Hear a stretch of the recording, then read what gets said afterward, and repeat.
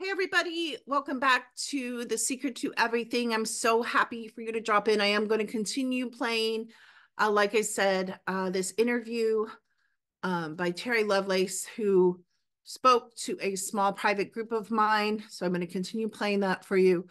I do want to point out that through 10 years of running thousands of people through the technology and looking at the frequencies in their field, that everybody is being taken. Now, is everybody being bodily taken? Most people are, yes. Uh, your pets are being taken. Um, clones are being taken. Empty vessels are being taken. Um, everyone's being taken. Um, how often are they being taken? By who they're being taken? That's a whole nother conversation that eventually we'll get into. Uh, but we have found that everyone is being taken. So whether you remember it or not, as lucidly as Terry, you're being taken. So I also want to take the time and invite you into my membership group, my monthly membership group with where I share confidential information that is given to me by people that I know, um, people in my life uh, that work in the matrix. And I call that like a first level 3D type of information. And then I share off planet information as well. So um, yeah, please join our groups if you're interested in the things that I talk about and I teach. And I'll see you on the other side of this interview. I hope you enjoy um, this part as well. And I didn't understand that. So went to the hospital. They, I mean, I've had enough uh, cardiac history. I mean, I know the drill. You know, they're going to do chest X-ray, EKG, and cardiac enzymes. Uh, so they did those, and they came back and said, you know, cardiologist came back and said, you know, everything looks fine. No changes since your last EKG. He says, I don't know what happened to you, but uh, we're going to kick you out of here and uh, go home. I'm like, cool, great, I'm ready. So they sent me home and I went home that evening, had dinner. And like I normally do after dinner, I told my wife I'm going to go for my walk because after after dinner every night I like to walk a mile and a half and two miles maybe. Um, and even though I'd had this weird experience during the day, I felt well enough to go for my walk. So I, I get to the uh, sidewalk and I click on my health app from the iPhone's iPhone's health app, and uh, I look at it, and you know it says the number of steps walked. Well, it was like 304 or something because I'd been in the hospital all day. But below it, it had stairs climbed. And it said six flights that I, that I had climbed six flights of stairs that day. And I look at it, and the time on the XY graph is like 5:23 a.m. Well, I didn't get up till 5:55. So um, and there was, I mean, I live in a Texas, lived, I sold that house, but I lived in a Texas ranch with, uh, you know, a four inch stoop at the front door, and that's it. There were no steps. So this is, I don't know how well you can see that or if you can see that.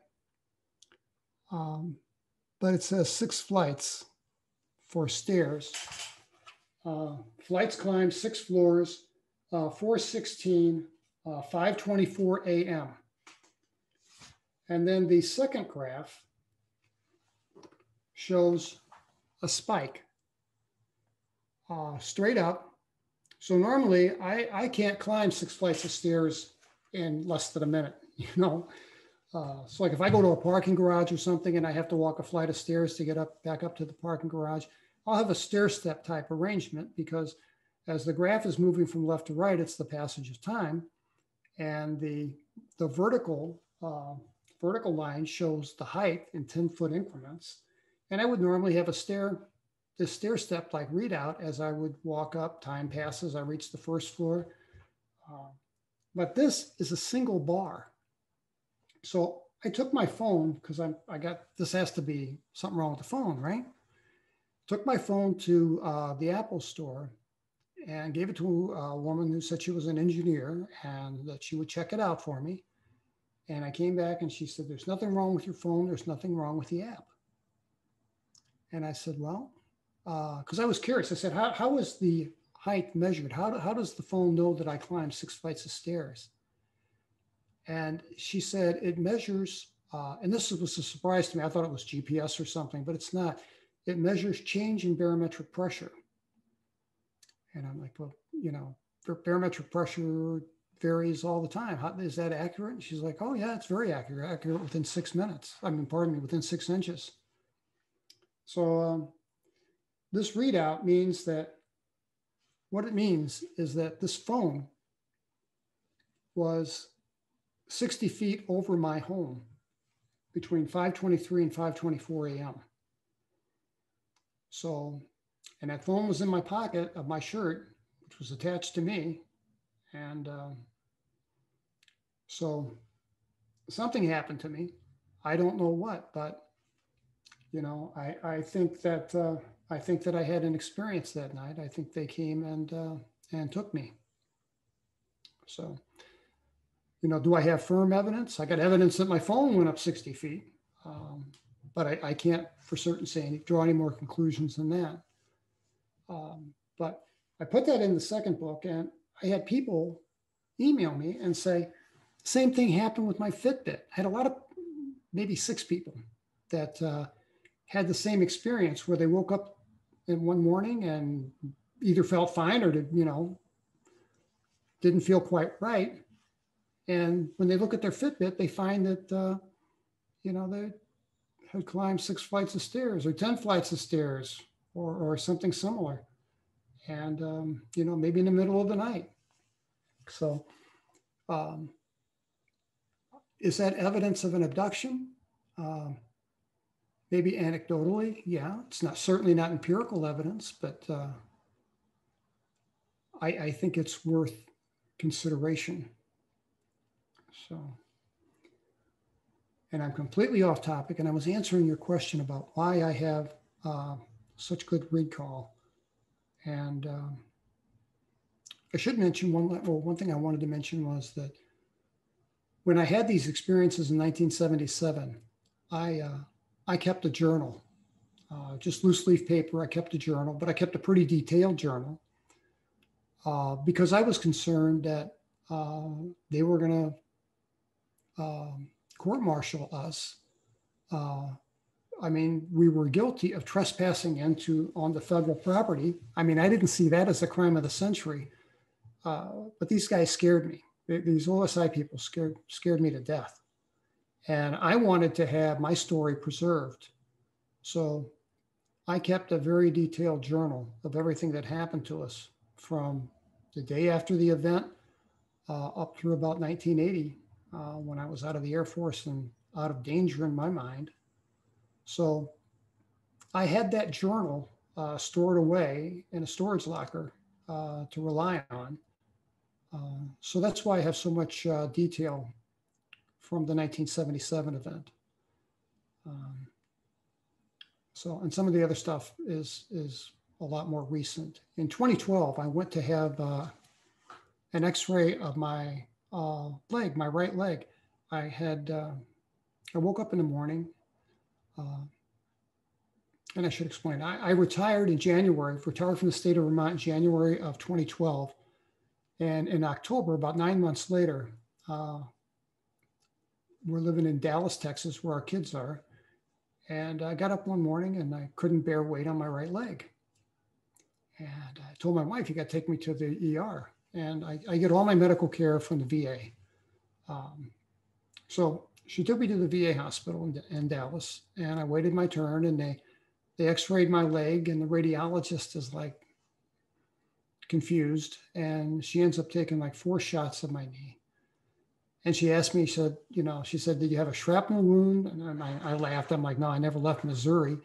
Um, and she said, you know, um, yeah, maybe we could put the x-ray slides up. I think they're number three and four.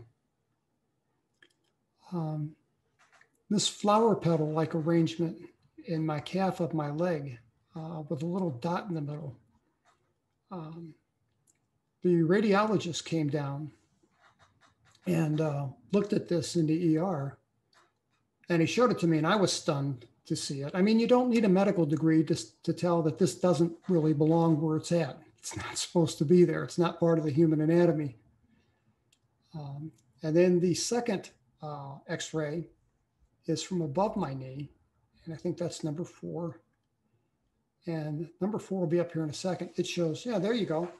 Um, That's an enlarged area. I have a square structure about the size of your fingernail with two wires attached to it. And uh, the radiologist said, well, you had to be in an accident. You, you know, you've got a foreign body in your leg. And he was really confused. And he said, well, you know, you're going to have a, there has to be a scar on that leg. And he wanted to see my leg to verify I did have a scar. And I said, no, doc, I, I don't have a scar there. And he says, well, you, you have to because you can't get something this deep into fascia and tissue and it not leave a scar. Uh, and he said that, you know, that's obviously a, a manufactured structure that doesn't belong in your leg. And I'm like, you know, doc, I don't have a clue. You tell me what this stuff is. And uh, he examined my leg, and of course, I don't have a scar. And that seemed to bother him. And I said, Well, doctor, let me ask you, how often is it that you see a foreign object, an anomaly like this, under the skin, and there not be a corresponding scar over it or by it?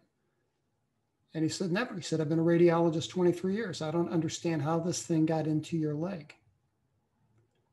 And I said, Okay, well, um, when I first saw this x-ray, uh, it wasn't a blow up like this. It was the, the big x-ray. And this is right above my right knee and lateral to the right. And um, I immediately, when I saw it on, on, the, on the x-ray, I immediately recognized it um, because I started running uh, in 1980 when I got out of the Air Force because I was leading a pretty sedentary life as a student. And um, I tried running and I liked it, and I ran for the next 40 years uh, almost. And uh, every time I would run, and I did run marathons, I'd run maybe a couple miles a day, but I ran almost every day. Every time I'd hit the two mile mark in my run, there was this spot above my knee and to the right that would go completely numb. And uh, every time without fail. And I took a safety pin one day and at the end of my run, um, and this would fade after about, you know, 20 minutes, it would just fade, go away. But I get, and it was uh, numb and kind of itchy, kind of like, a, like a Novocaine shot in your mouth. And I took the safety pin and I could delineate the edges of this thing. And it was about the size of a half dollar. And in the center, I could, I, there, there, there was just no feeling there. But when I saw this X-ray in 2012, it immediately popped into the head, my head that, you know, this thing that I'm looking at on the X-ray is directly underneath where that spot on my leg is that used that was numb when I ran. So, you know, I'd, I'd ask a doctor about it in 1982, and she said, "Well, you know, it sounds quote like a histemic reaction, whatever that is." And she says, "You know, if it's not interfering with your run, I wouldn't worry about it." So I, I, I didn't until 2012. And then I got worried. so anyway, long, long story about that. So um, seeing these things um, had a, a, pretty dramatic effect on me uh, because it validated that this all did happen, that it wasn't a nightmare, it wasn't uh, sleep paralysis, um, it wasn't fantasy or confabulation. This really happened to me. And they put their hands on me. If they have hands, I don't know. Um, and that was really tough for me to process because I had kind of put this to bed, uh, other than a nightmare, you know, once or twice a year, maybe. Um, and I can tell you, during my time in the legal community, I don't know if is anybody here uh, an attorney, paralegal, uh, legal secretary? Anybody here work in the legal field? Nobody? I used to. I used to manage an attorney office. Okay. Well, you know, what would happen if one of your, uh, one of the, uh, let's say partners, well, partner or one of the associates in the firm uh, came out and said, uh, yeah, I was abducted by aliens when I was in the military 10 years ago or 30 years ago, whatever the case might be.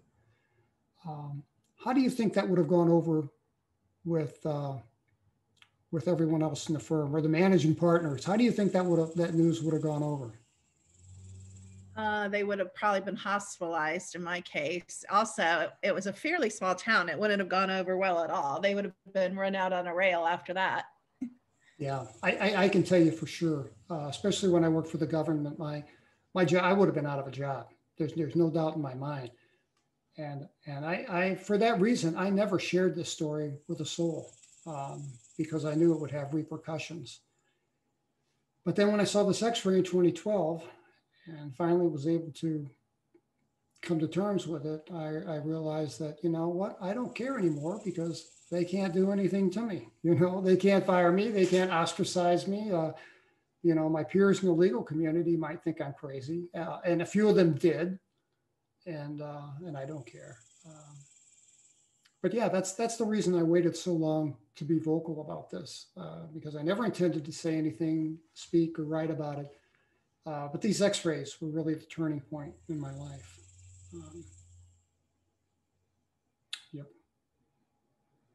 So, anybody have any implants? Suspect that you might have? It's more common than I thought it was.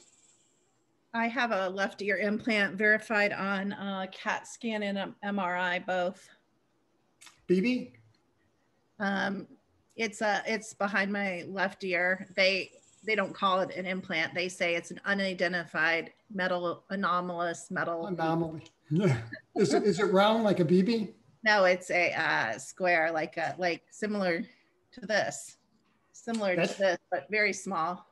Well, that's interesting because we know that right angles don't happen in the human body. So, yeah, I had a lot of people um, email me. Uh, one, one woman emailed me and said that uh,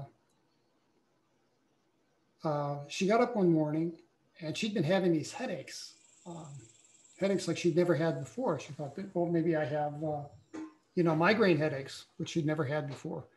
And she called me an appointment with her doctor, and uh, her doctor um, was going to see her the next day. And that morning, she's in the bathroom, and um, she sneezed, and she blew her nose, and she heard a crack in her head, in her nasal cavities, and she blew out this thing that looked like a silver BB maybe a little smaller than a than a than a BB, but this so, perfect globe like thing was in her Kleenex or in her tissue along with some blood. And she looked at it and said, Oh, that's weird, and promptly flushed it down the toilet. And then she thought, Oh my God, what I just do? I should have kept that thing. And, uh, she, you know, she isn't the only person that told me that. I've had other people tell me that too. Um, and people that have things on x-rays that are there for a while and uh, you know, then they go back a few years later and it's not there, or like like Whitley Strieber. Whitley Strieber had a um, little round like a BB thing in his earlobe, and uh, when he went to have it removed, the surgeon had to chase it because it moved of its own volition and would hide under tissues and and um, and I don't remember. I think he got it out of his ear. Anyway, yeah, th- these these kind of things have been recovered from people. There was a he was a podiatrist. His name was Roger Leir. Uh, he was in California, and he uh, he got interested in people that that think they have trans, you know implants, and he documented all kinds of stuff and took crazy things out of people that uh, that couldn't that they came back. The analysis was that you know it's not earthly uh, material, or it's weird, uh, you know, combinations of stuff. And uh, he got in he got in trouble. He was a podiatrist, so that means that he you know he could operate on anything from the ankle or below. Um, but there's a famous scene that was in one of those shows in the 1990s, like Sightings or uh, Unsolved Mysteries or something, where it's and it's famous footage of him on on air uh, operating on this guy's arm. This guy had this anomalous object uh, underneath his skin on his arm. You know, no scar to indicate how it got there. And uh, on camera, he removed this. Uh, it looked like a piece of rounded glass, frosted kind of and um, the the uh, uh, Board of Medical Practice took away his license. They, they, they took his podiatry license away for operating out of his territory. And uh, he ended up going to South America. Uh, he, he passed away in 2014. So I never had the opportunity to talk with him. Uh, I would like to have, um, but uh, yeah, it never, it never, uh, that never materialized. Hey, let me ask you: Has anybody here had? Um, has anyone here ever seen a UFO?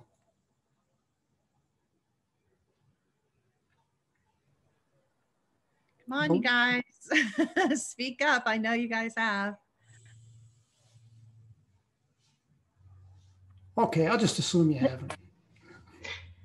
Terry, thank you for sharing your fascinating story. Do you still have the implants in you or did you have them removed? Uh, well, that's kind of a long and complex story, uh, and I'll explain uh, kind of briefly. I'll give you the abbreviated uh, uh, answer.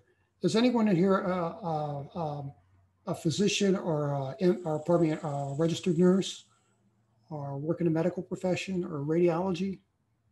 Anybody in the medical into the medical stuff? This is Stacy. I was an RN for many years. Okay. So when I talk about standard of care, you know what I'm talking about. Mm-hmm.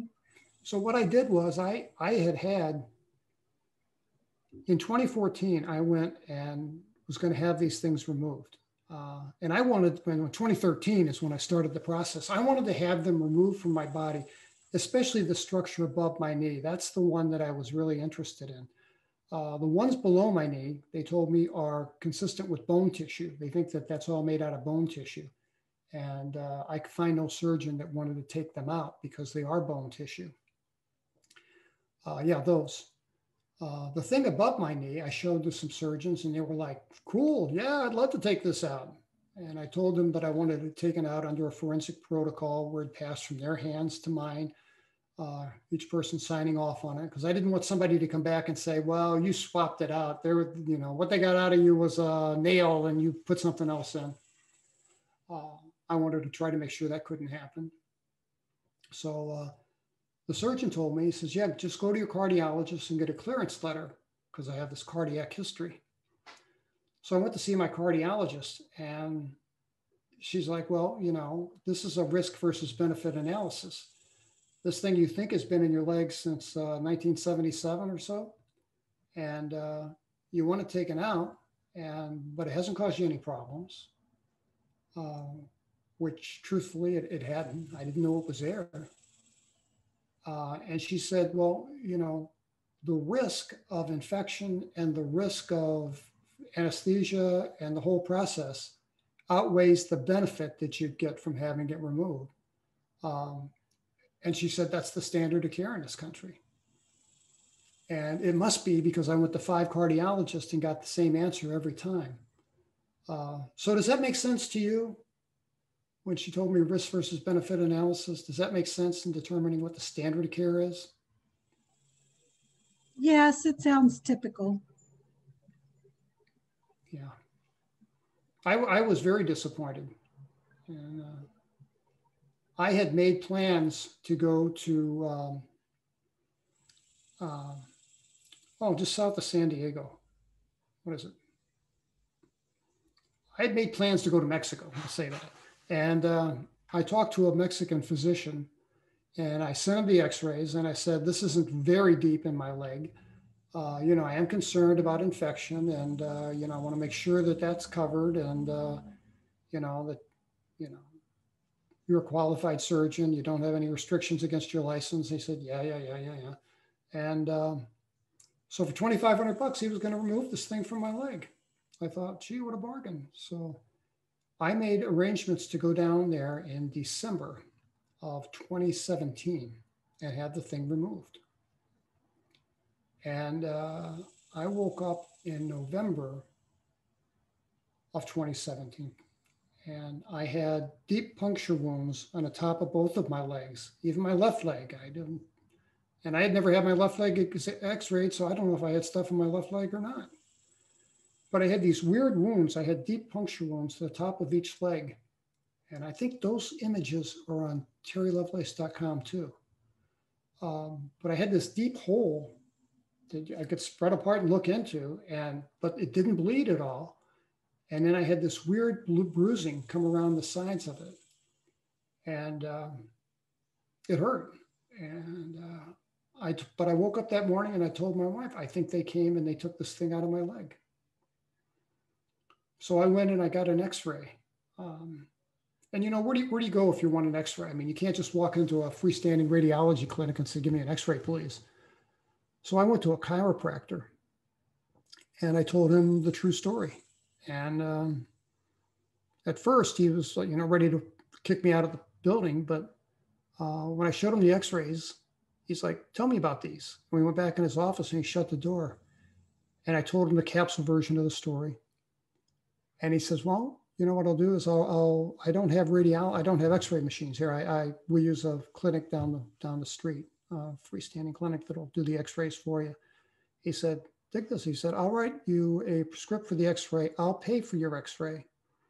Um, because I told him I was writing the book, and he says, "Promise me you won't use my name or the name of my clinic." You know, I respected that. So he went down, and, and I had the X-ray, and I got to my car, and I pulled it out of the big envelope, and I'm holding it up against the window of the car, and it's Texas, so of course it, it's bright, and I'm looking at this thing, and sure enough, the square structure isn't there anymore. And I felt kind of like good, and then I felt like kind of bad uh, yeah, I wanted out of my body, but I, I wanted it, I wanted it in my hand. I wanted it to be studied. And um, so I'm both happy and, and sad at the same time. So I dropped the x-rays off at his office and he called me back uh, the next evening and said, did you get a chance to look at your x-rays? And I said, yeah. I said, I, looks like they came and they got the thing. And he says, well, did you see they left you something? And I said, no. And he said, yeah. He says, uh, um, there's a little wire about a centimeter long. And he says, if you look at the x-ray, it's actually two parallel wires together. Um, and they're right, they're parallel with your femur and right next to your femur, you know, maybe an inch away or, or less. Um, and I said, and that puzzled me. And I said, well, you know, well, let me ask you, Doc, because uh, I think this guy was an experiencer. Either that or he he'd seen these things in people before, because he he was not not surprised about this. And I said, well, Doc, let me ask you. You know, when they took this thing out, how could these things, if they're so so far above us, uh, so advanced, how could they be so inept as to leave two little wires in my leg? And he said, You don't get it. They don't do anything by accident. He said, I think what they did is they gave you an upgrade. And he said, I think they took their 1977 model out and now you're now you have the 2017 model in your leg. And he kind of laughs and he says, Yeah, he says, you know, those and those wires are still in my leg. They're, they're still there. And uh, so I don't know. Yeah, no, I, I never had the opportunity to get them removed and analyzed the way I would have liked to have had. Um, but that's that's the way it went down. So, how how, how much time do we have, uh, Dr. Kim, if I could ask? Um, well, technically, legally, as you would say, uh, we're supposed to go to around 10 o'clock, but you have as long as you want. Oh, okay, great. Good, good. I just make sure I'm not running out of time. No, it's wonderful. Good, good.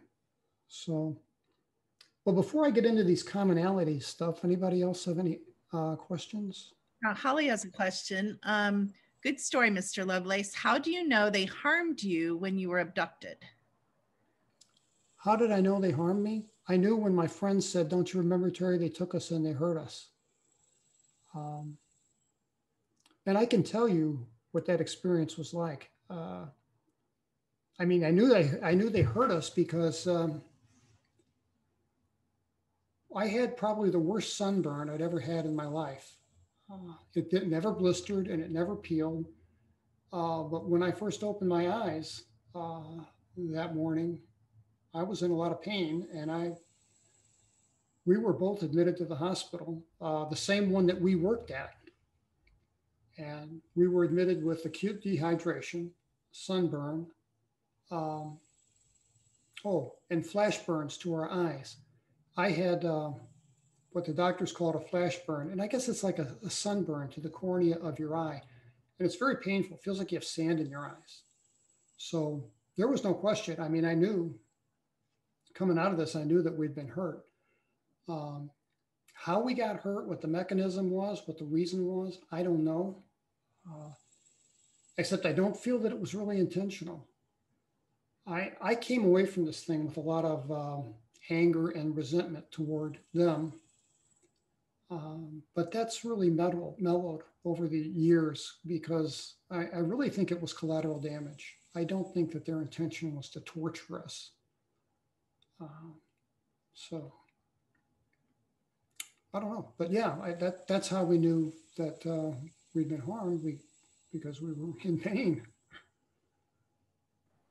Uh, Nancy says, I'm wondering how you feel about the government's supposed disclosure of the existence of extraterrestrial life. You know, um, I took that and I picked that apart. I read it nine times. I made a list about the number of times that they used the word threat. And I think it was something like nine. I, I forget, something around nine times. And I found that interesting. And you know, the word threat um, is a little different when military people use it than it is when civilians like you and I use the word threat. You know, we use we think a threat is imminent danger, and uh, in the military, threat means threat to national security. So um, when they use the word threat, I think it's significant the uh, ATIP program, Advanced Aerial Threat um, Interpretation Program, uh, run by Lou Elizondo. That's Lou in number six. Uh, that's Lou Elizondo. Um, he came out and spent two days with me.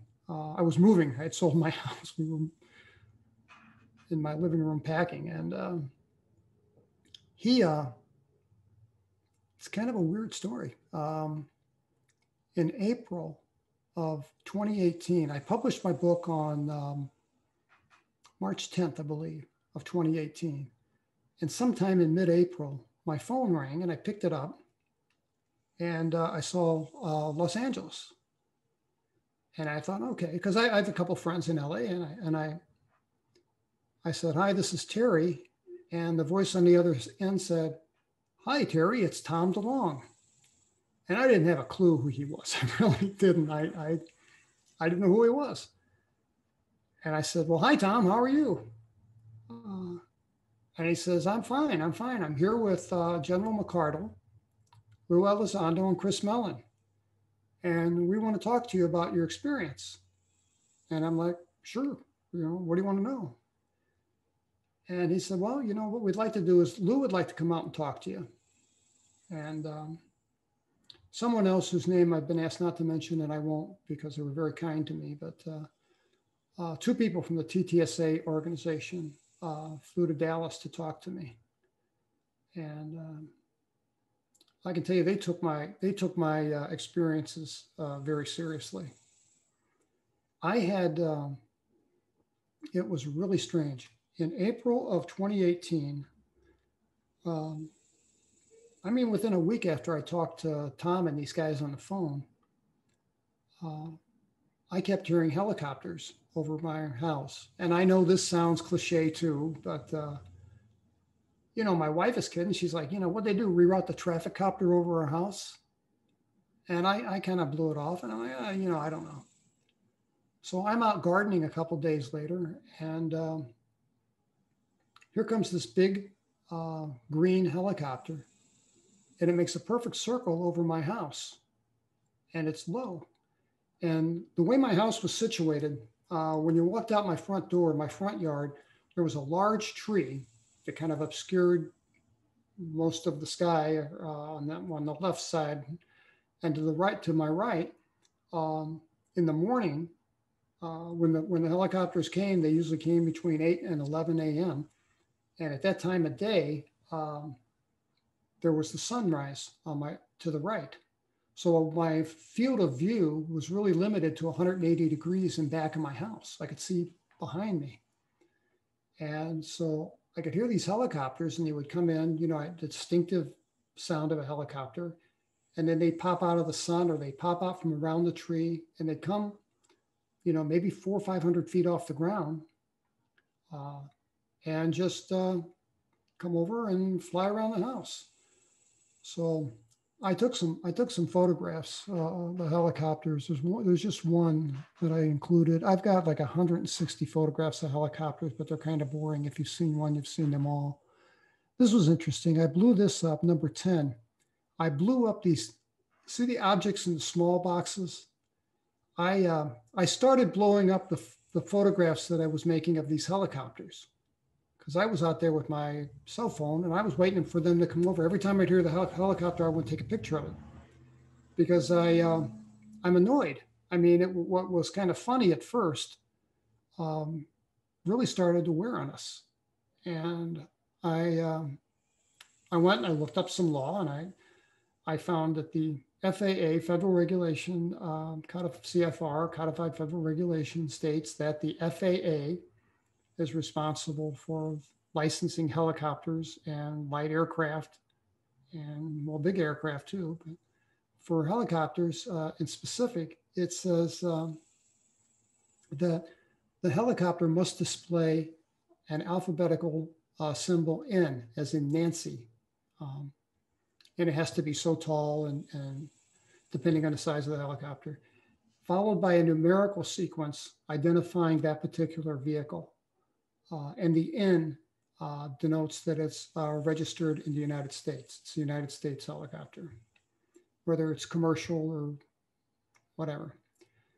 Um, and then down at the bottom, there are exceptions to that requirement, and they are military, and um, which I knew the green ones were military because they were obviously military, but like this one, this was a, yeah, that's a, a Robert, uh, Robinson R uh, 44. And that's a strictly commercial helicopter.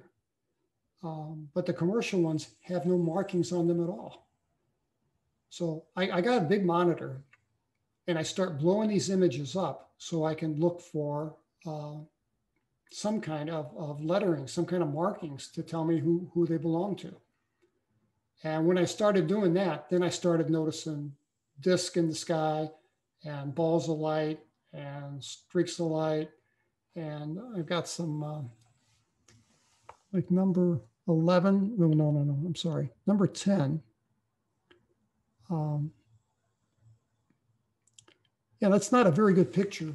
Um, it's kind of blown up, but I don't know what the heck this is, but it was early in the morning and it was, um, I was out for a walk and it was near City Park and um, sky was deep blue and these lights were all kind of like uh, they weren't flashing at all but they were uh, they were all moving around. Um, just a very strange image. Um, and i've got some more like this that are just just odd. Crescent shape uh, um, figures of light. Uh, and um, yeah the one below that no, that's not. Oh, I, I, didn't. I didn't send that. I guess. Anyway, that's that's a couple examples. Um, yeah, it's all right. It's the same thing we got up there. Uh, a couple examples. Oh, that's a good one. Yeah, if you blow if you blow that up a little bit, you'll see that that's a perfect disc. Uh, silver on top, black on the bottom. I uh, was coming home from the doctor's office one day, and I um, I live about ten miles from my doctor's office. Uh, and I noticed when I came outside that there was this thing darting around in the sky. And I watch it and it goes out of my field of view. And I get back in the car and I get, or pardon me, I get in the car and I start headed to my home. And uh, as I'm driving, I can on occasion see this thing dart across the sky. And then I stop for gas and I can see it circling around the, uh, the, uh, uh, gas station. And I've got about five pictures of it, um, other than this, but they were in motion. So they, they were, when I took the pictures of the thing was moving. So they're not real clear. They're just like this black smudge. When I got to my house and I pulled in my driveway, this thing was at a dead stop, um, about maybe five, 500 feet over my house. Uh, and it's at a dead stop. Uh, and I took a picture of it. And as soon as I, as soon as I took a picture with my phone, it darts, it shoots off, and it's gone.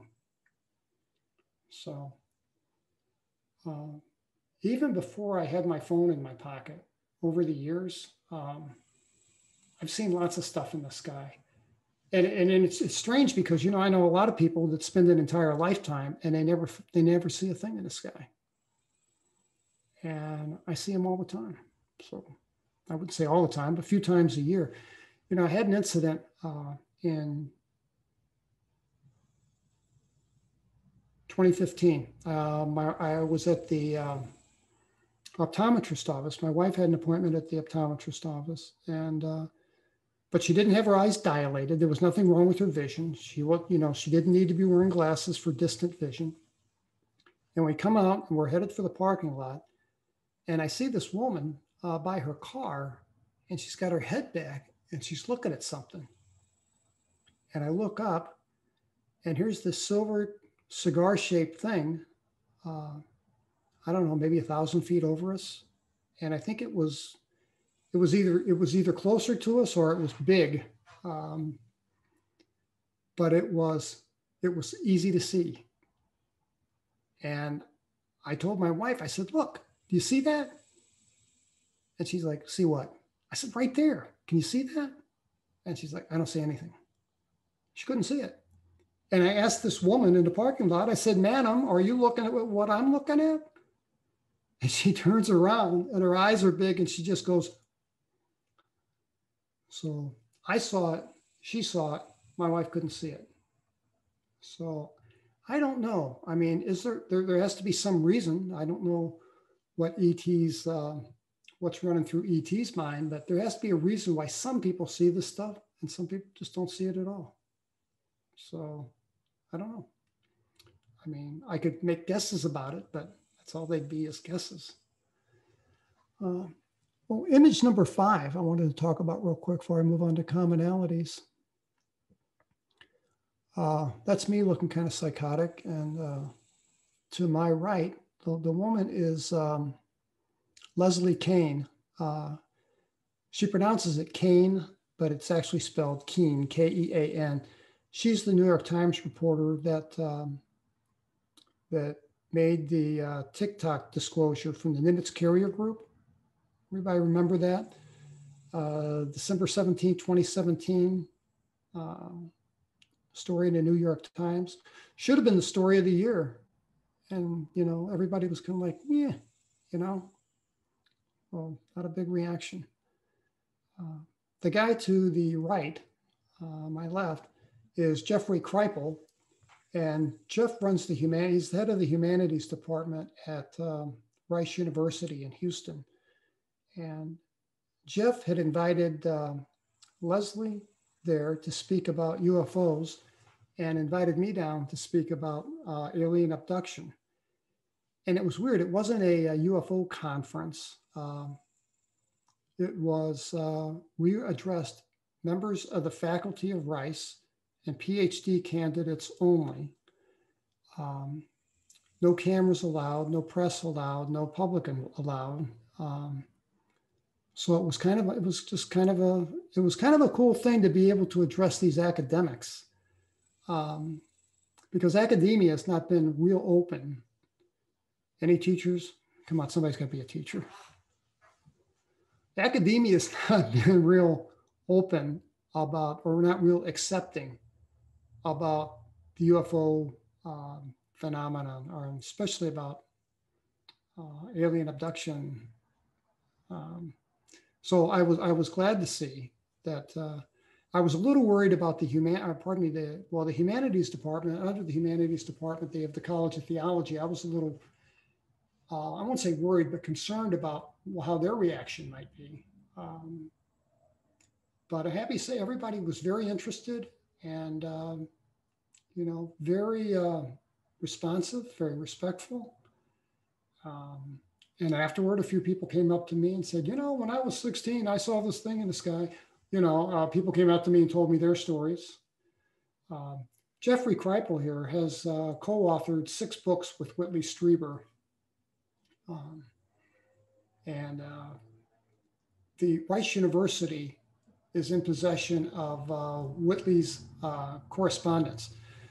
You know, I, I, feel like I'm doing good that I've got about 1,700 emails from people. Well, when he wrote, when uh, Whitley Strieber wrote the book Communion, he uh, he received over 2,000 pieces of uh, letters of real mail by the U.S. Postal Service, and they would bring mail by the you know by the bagful every day uh, to his house. And he and Ann would go through them all.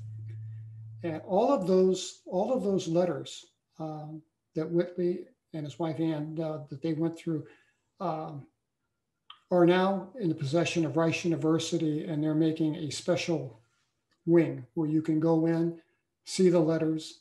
You know, they're they've all been indexed. You know, you can look, do a search and pull them up, um, and so they're all uh, cataloged and uh, photographed and uh, should be available online soon. So that was my adventure at Rice University. So from here, um, oh, give me a moment because I, I, I, had something that I thought was important. Um, it'll come to me.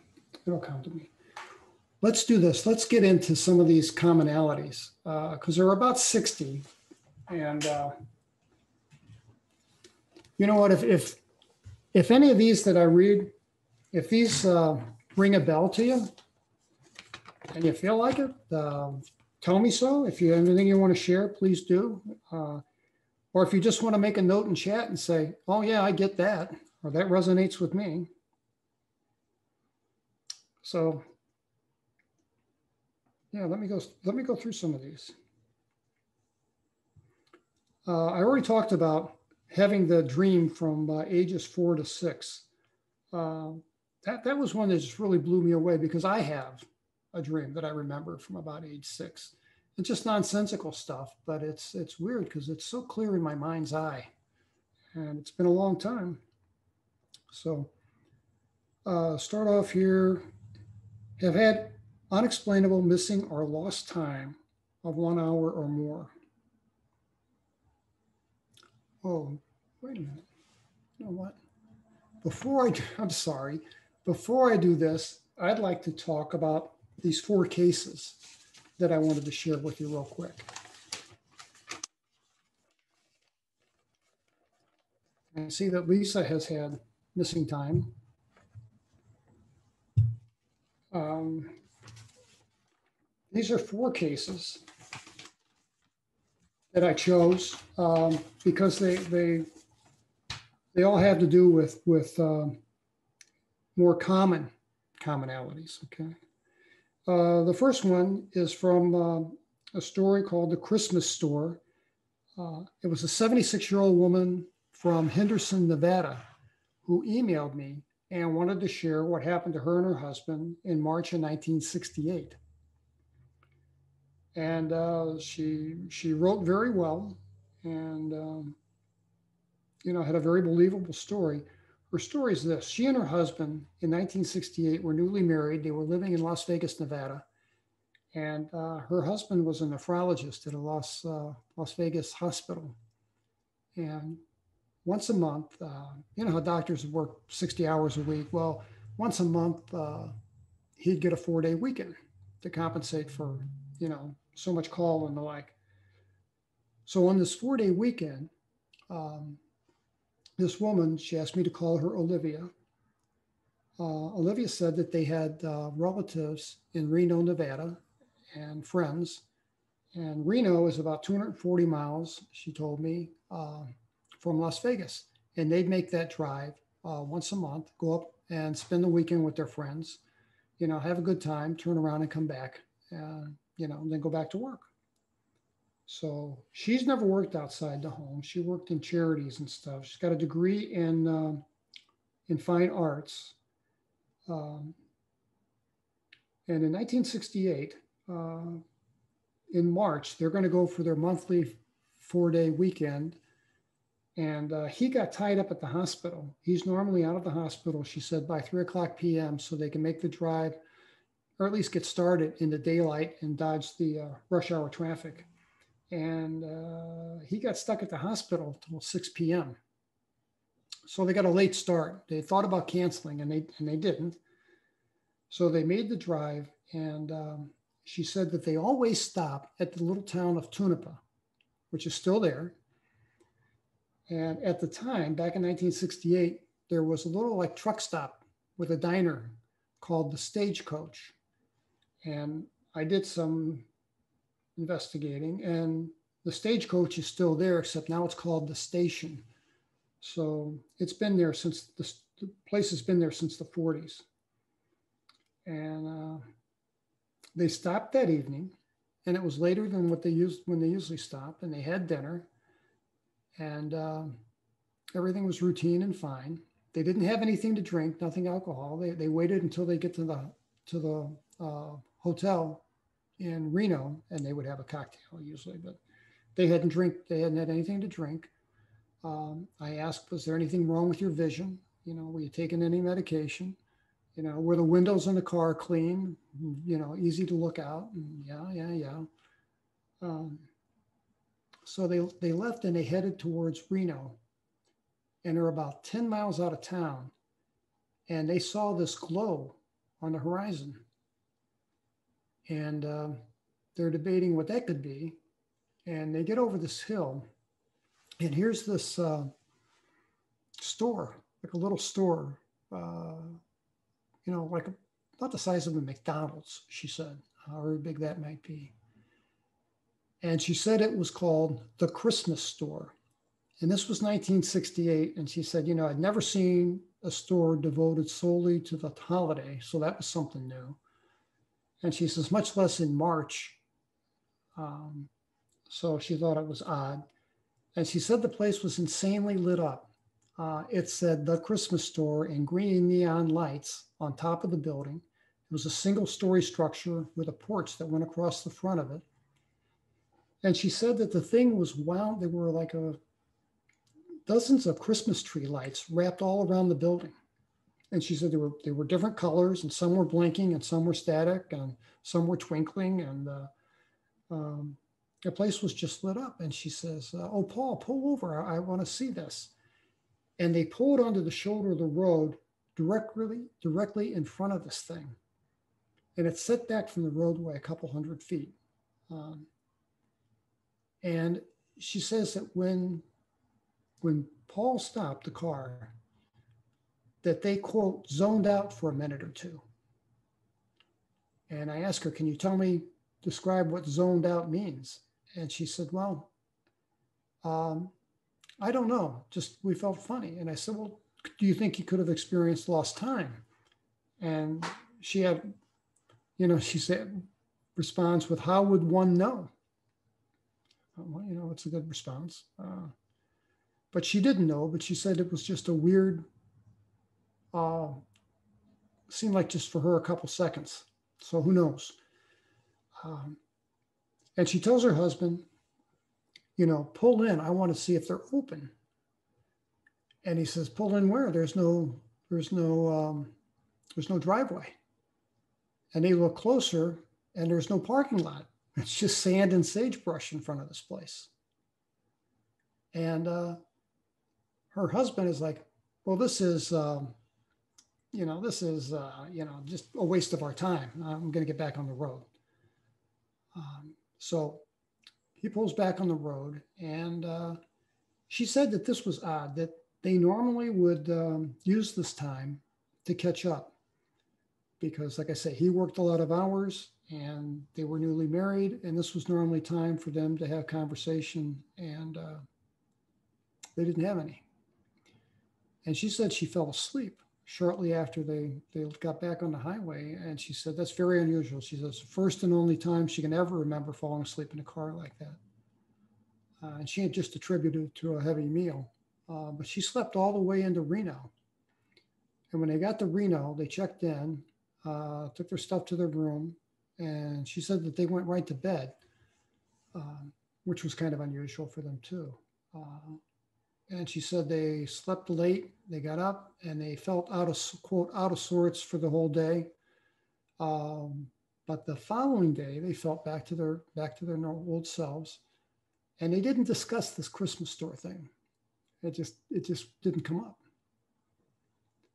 And when they got ready to go home, she brought it up and she says, You know, that Christmas store has been on my mind. And he says, Yeah, yeah, me too, kind of. And she says, Well, let's, on the way back, let's stop, you know, because it'll be daylight. Let's stop and look at this place. And uh, he's like, Sure. So, what they did do, they, they did compare notes about, did you see what I saw, what it looked like? And they agreed that the um, neon light on top, um, you know, the kind of script it was, uh, that it was green, that there were Christmas lights wrapped around, that there was a front porch. Their descriptions of the thing jived, except she remembered it being a brick structure.